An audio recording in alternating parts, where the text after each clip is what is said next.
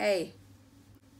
Vi har behov for deltakere i et stort ADHD omega-3 forskningsprosjekt. Prosjektet er tilknyttet UNN i Tromsø, og der er SANKS med. Hvis du har barn eller ungdom som har ADHD eller ADD, og er mellom 6 og 16 år, da har dere mulighet til å bli med i denne viktige forskninga.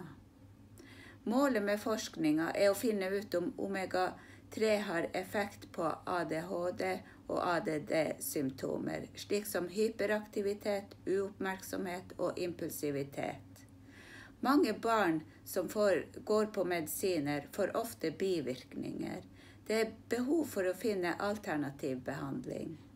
Omega-3 er kosttilskudd som inneholder fettsyrer, som er viktig for hjernens utvikling. Vi vet også at barn med ADHD og ADD har lave omega-3-nivåer i kroppen, uten at man vet hvorfor. Derfor skal det forskes på dette.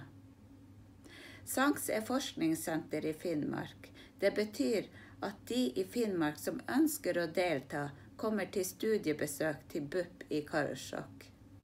Eh, Dette prosjektet vil vare i ett år for barnet og ungdommen som deltar. Og I denne perioden kommer dere på fire studiebesøk. Eh, dere vil eh, da treffe meg og en lege. I seks måneder skal barnet ta studiekapsler. Nå har jeg fortalt kort om prosjektet.